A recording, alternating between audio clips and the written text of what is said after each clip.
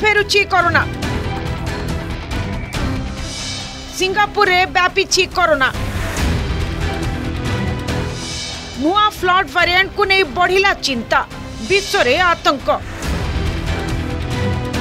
ସିଙ୍ଗାପୁରରେ କରୋନା ସଂକ୍ରମଣ ବଢ଼ିବା ପରେ ପୁଣି ଥରେ କରୋନାକୁ ନେଇ ଭୟ ସୃଷ୍ଟି ହୋଇଛି କ୍ରମାଗତ ଭାବରେ ସିଙ୍ଗାପୁରରେ ବଢ଼ୁଥିବା କରୋନା ମାମଲାକୁ ନେଇ ବିଶ୍ୱର ଅନ୍ୟ ଦେଶମାନଙ୍କରେ ମଧ୍ୟ ଆତଙ୍କ ସୃଷ୍ଟି ହୋଇଛି ଏହା ହେଉଛି କରୋନାର ଆଉ ଏକ ନୂଆ ଲହରର ପ୍ରତ୍ୟାବର୍ତ୍ତନ ବୋଲି କୁହାଯାଉଛି।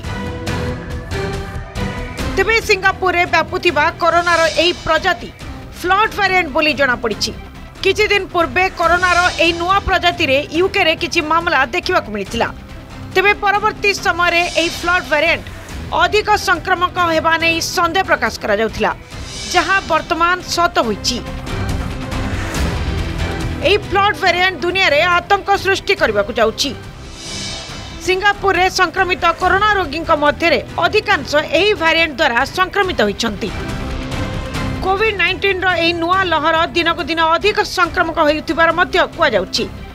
ସିଙ୍ଗାପୁରରେ ମେ ପାଞ୍ଚରୁ ଏଗାର ମଧ୍ୟରେ ପ୍ରାୟ ଛବିଶ ହଜାର ମାମଲା ପଞ୍ଜୀକୃତ ହୋଇଥିଲା। ଏହାପରେ ସିଙ୍ଗାପୁର ସରକାରଙ୍କ ତରଫରୁ ଲୋକଙ୍କୁ ମାସ୍କ ପିନ୍ଧିବାକୁ ସତର୍କ ସୂଚନା ଜାରି କରାଯାଇଛି। ଆଗାମୀ ଦୁଇରୁ ଚାରି ସପ୍ତାହ ମଧ୍ୟରେ ସିଙ୍ଗାପୁରରେ କରୋନାର ଏହି ନୂଆ ଲହର ଶିଖରରେ ପହଞ୍ଚିପାରେ। ତେଣୁ ଆମକୁ ସତର୍କ ରହିବା ଉଚିତ ବୋଲି ସିଙ୍ଗାପୁର ସ୍ୱାସ୍ଥ୍ୟ ମନ୍ତ୍ରାଳୟ ତରଫରୁ ଚେତାବନୀ ଦିଆଯାଇଛି। ଜୁନ୍ ମଧ୍ୟଭାଗରୁ ଶେଷ ପର୍ଯ୍ୟନ୍ତ ସିଙ୍ଗାପୁରରେ ଆଉ ଏକ ନୂଆ ଲହର ଦେଖାଯିବା ନେଇ ମଧ୍ୟ ସୂଚନା ମିଳିଛି। ଅର୍ଥାତ୍ ଜୁନ୍ ପନ୍ଦରରୁ ତିରିଶ ମଧ୍ୟରେ କରୋନାର ନୂଆ ଲହର ସିଙ୍ଗାପୁରରେ ଶୀର୍ଷରେ ପହଞ୍ଚିବ।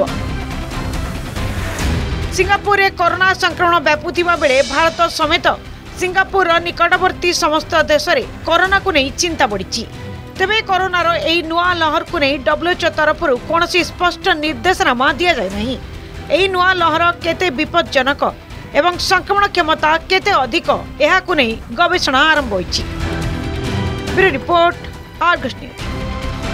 Mobile phone ଓ ସାଙ୍ଗସାଥୀ ଆପଣଙ୍କ ପିଲାଟିର ପାଠପଢା ଓ କ୍ୟାରିୟରକୁ ପ୍ରଭାବିତ କରୁଛି କି ଆପଣ ସେଥିପାଇଁ ବିବ୍ରତ କି ତେବେ ଆଜି ହିଁ ଆସନ୍ତୁ ଆପଣ ଚାହୁଁଥିବା ମନ ଲାଗି ସମ୍ପୂର୍ଣ୍ଣ ଆବାସିକ ସ୍କୁଲ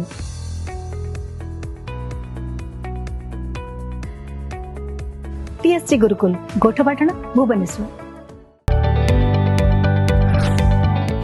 ଯଦି ଆପଣଙ୍କୁ ଆମ ଭିଡ଼ିଓଟି ଭଲ ଲାଗିଲା ତେବେ ଆମ ଚ୍ୟାନେଲକୁ ଲାଇକ୍ ସେୟାର ଓ ସବସ୍କ୍ରାଇବ୍ କରିବାକୁ ଜମା ବି ଭୁଲନ୍ତୁ ନାହିଁ